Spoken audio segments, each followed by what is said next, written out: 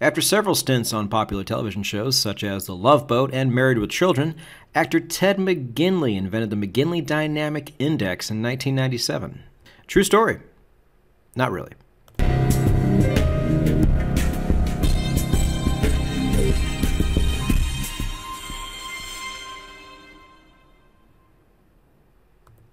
Now, how cool would that be if Jefferson Darcy from Married with Children actually invented this indicator? But unfortunately, not the case. But welcome, traders, to video number two in our indicator profile series.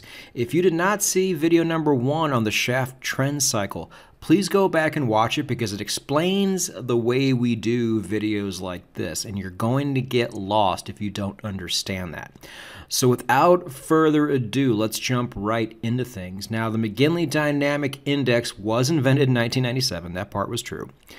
This is a baseline. Now, baselines, as you know, if you test them on their own, will probably not set the world on fire. But if you can find a decent one that does perform well on its own, you can start to build a system around that if you want to.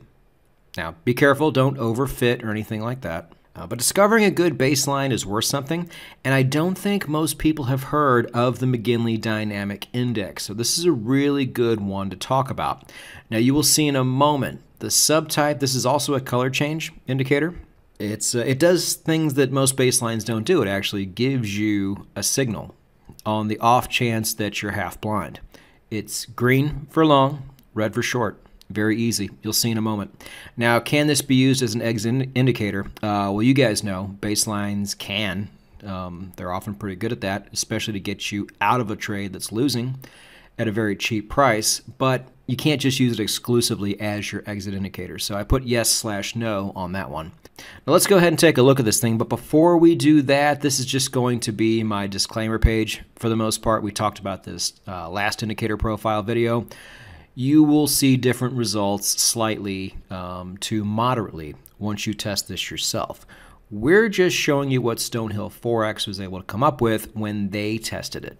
Now, let's look at the indicator real quick. Pretty simple. You will see when a candle crosses and closes above the, uh, the baseline, it turns green, and when it does the opposite and closes, crosses and closes below the baseline, then that's going to be a sell signal and that's going to be red. Super easy. You can see some areas here where you have a lot of misfires. Uh, anywhere else? Yeah, maybe right here. But again, that is where the rest of your algorithm comes in. Uh, but you get the idea. You understand how this works. So without further ado, let's go to the results, starting with the Euro USD. On its own, not that great actually lost pips over time. Um, but with some very basic tweaks, not only did the amount of trades go down, which was probably necessary in this case, the ROI actually became positive. And now you would actually have a really nice starting point. And if a baseline alone can achieve numbers like this, that is worth something. That is worth looking into. Moving on to gold, actually pretty good on its own. I like indicators that are good in their default state, and for gold in particular, this is. But you did see improvements when the tweaks were made.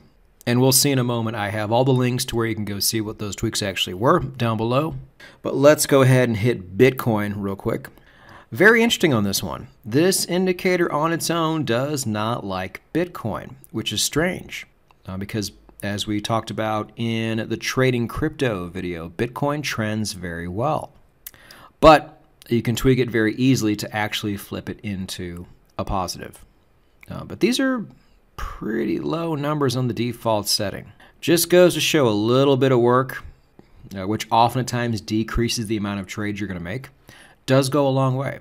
So as I stated earlier, the links we are always going to put below is one, my automation blog, which has the video that Dan from Stonehill Forex made showing how to test these indicators on your own. So you can take any indicator you want and run it through the MT4 strategy tester.